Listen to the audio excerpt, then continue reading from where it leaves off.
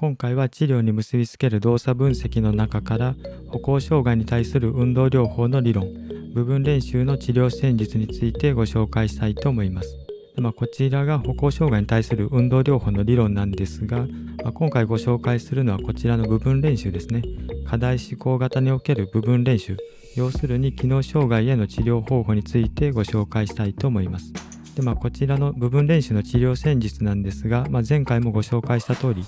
まあ、こちら、ま段階的なステップを踏んで行っていくということになります。ま前回までご紹介したのはこの立位から重心移動足踏みステップへとまあ、部分練習をつなげていくというのはご紹介しました。まあ、詳細の方は前回以降の動画で確認していただければ良いと思うんですが、まあ、今回ご紹介するのはこちらの CKC での筋力強化ですね。まあ、そちらの方法について少し補足をしたいと思います。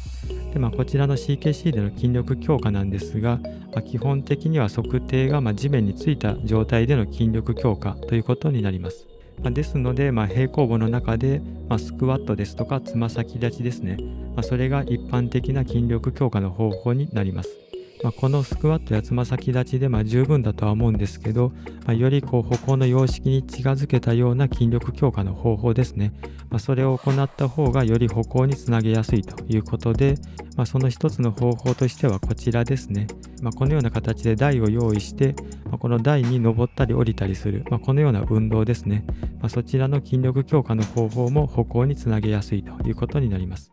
まあ、要するにこのステップを踏んで上に登る時のこの筋の活動ですね、まあ、この活動が歩行で使う時の筋の活動に似ているということで、まあ、単純なスクワットやつま先立ちよりも、まより歩行に類似した、ま筋の活動が得られやすいということになります。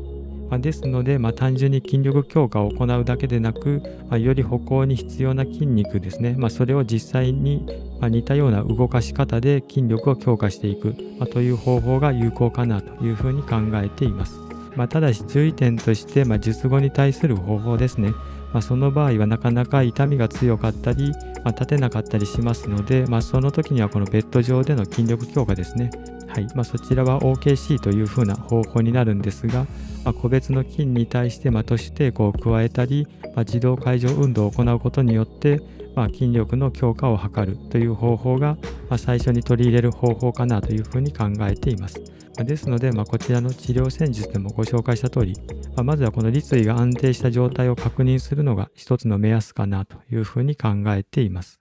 はい、今回は以上になります。